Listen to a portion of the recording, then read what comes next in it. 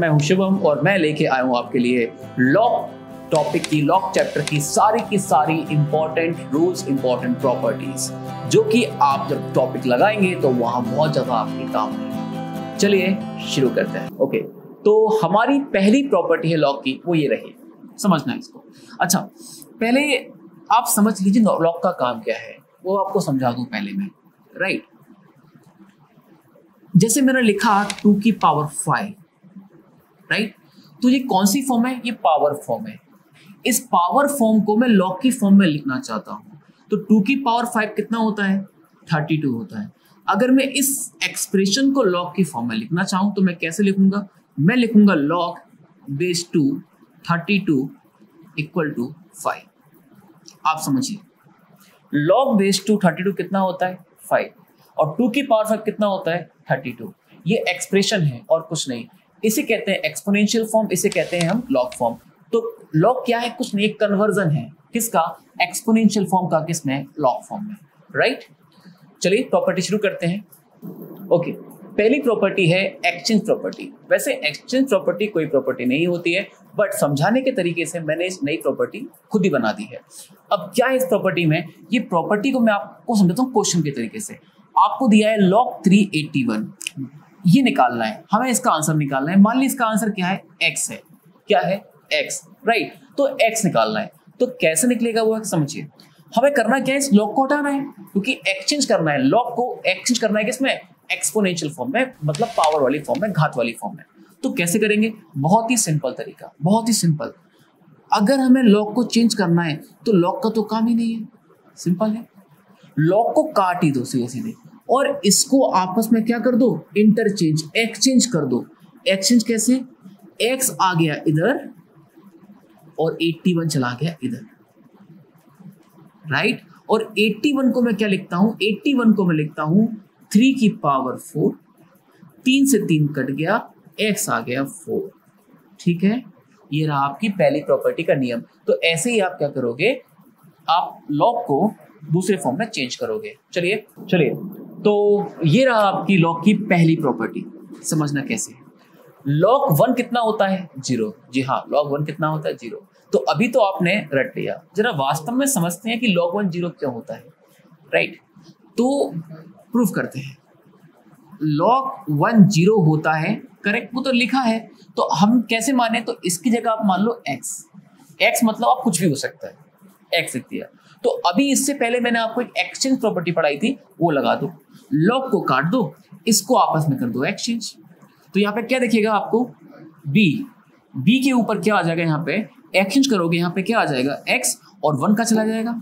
यहाँ चला जाएगा। अब मुझे बताओ, इस एक्स की जगह में क्या रखूँ? इस एक्स की जगह में क्या रखूँ? कि आंसर आ जाए वन अगर मैं एक्स की जगह वन रखता हूँ तो आंसर आएगा बी की पावर वन मतलब बी अगर मैं एक्स की जगह टू रखता हूँ तो क्या आएगा? बी का स्क्वायर लेकिन मुझको चाहिए वन तो आपको एक्स की जगह क्या रखना पड़ेगा? आपको एक्स की जगह रखना पड़ेगा ज़ीरो जी हाँ मतलब x कितना होगा? ज़ीरो तो वही तो हम कह रहे हैं, x क्या होगा? ज़ीरो ये प्रॉपर्टी मैंने आपके लिए प्रूफ कर दी. ओके तो ये आ गई आपकी सेकंड प्रॉपर्टी सेकंड प्रॉपर्टी क्या है? देखो, जब बेस और जो वैल्यू है, दोनों क्या होती है? सेम तो आपका आंसर क्या आता है? वन आता है। आंसर क्या आता है? वन चेक करते हैं कैसे। क्योंकि तो रटा हुआ है, अभी प्रूफ करते हैं। ओके तो लॉग बेस एन और एन बराबर। यहाँ बने हमने एक्स मान लिया।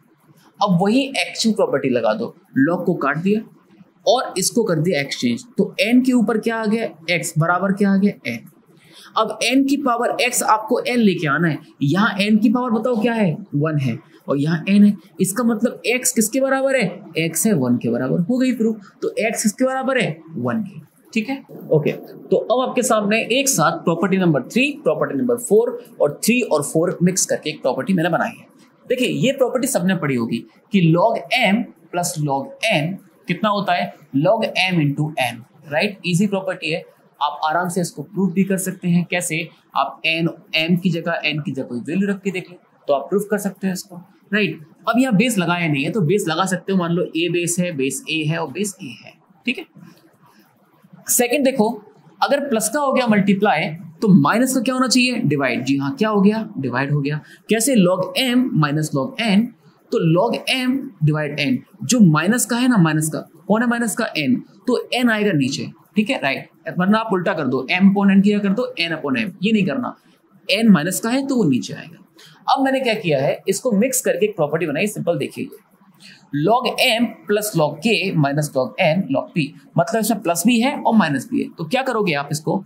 एक लॉग लिखो, बस बड़ा सा ब्रैकेट अब देखो एम किसका है? प्लस का तो ऊपर। के किसका है? प्लस का तो ऊपर। एन किसका है? माइनस का तो कहाँ आएगा ये? नीचे। पी किसका है? प्लस का तो कहाँ आएगा? ऊपर। ऐसे आप इसे सॉल्व कर सकते हैं। ओके देखिए, अब ये प्रॉपर्टी है जो बच्चों को अच्छे से याद नहीं होती, समझ में नहीं आती। तो इसकी बड़ी ही शानदार ट्रिक है, उस ट्रिक से इसको याद कर लो ठीक है ना? क्या है ये प्रॉपर्टी समझना।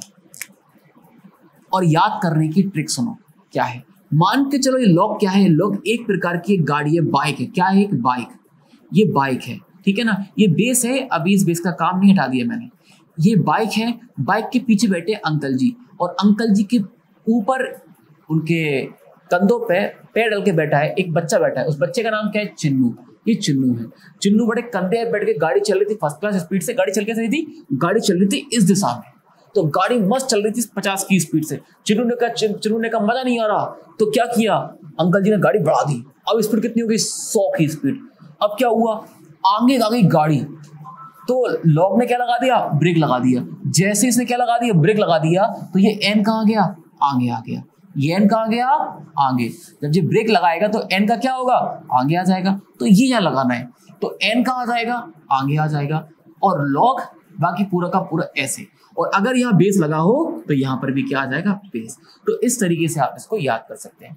अब देखिए प्रॉपर्टी नंबर छ इसमें क्या है? लॉग सेम बेस ए है एम अभी देखो, अभी ये चिन्ह कहाँ था? इसके ऊपर था। अब क्या किया अपन ने? ये चिन्ह गिर गया था आगे। तो इसको क्या किया अपन ने? अपन ने इसको इस ए लिखना है ए इस ए के ऊपर चिन्नू को बैठा दिया कि अब ये गिर के बाहर नहीं जाएगा। अब चिन्नू ने कहा, अब तो डरने की बात नहीं है। अब तुम गाड़ी चलाओ आराम से। स्पीड चलने दो 200 की। अब 200 की स्पीड चली। और सामने आ गया ब्रेकर। जैसे ही ब्रेकर आया, चिन्नू उचक के कहा गया? आगे। और इस बार तो गाड़ी के नीचे आ गया। गाड़ी के नीचे मतलब कहाँ गया वो? बटे में आ गया। तो बटे में क्या लिखेंगे इसको? एक बटा एन। और क्या आएगा? लॉग बाकी पूरा का पूरा सेम रहेगा। तो ये था इसको याद करने का तरीका। अब सुनो, जिस तरीके से ये एन आगे आया है, उसी तरीके से समय समय में क्वेश्चन पे ये एन वापस भी जाता है।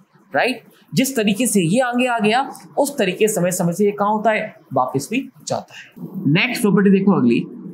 लॉग बेस ए बी अब इसको दो तरीके से हम लिख सकते हैं। तरीका नंबर पहला, अगर मुझे इन दोनों को, आपस को अदला बदली करनी है बी लिखा है ऊपर, अगर मुझे बी को नीचे लिखना है तो मैं क्या करूँगा? मैं इसको लिखूँगा वन अपॉन लॉग बी आ गया नीचे और ए आ गया ऊपर। राइट तो एक तरीका तो ये लिखने का है। एक तरीका इसका और होता है। हम इसको लिख सकते हैं कैसे?